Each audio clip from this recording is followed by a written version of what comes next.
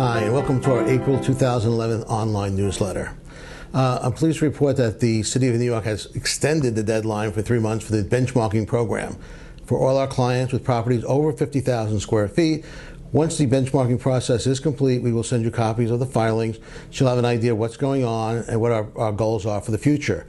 For clients with buildings that are less than 50,000 square feet, we'll also be working with you on a new energy initiative on how you can actually save money for your building by going green.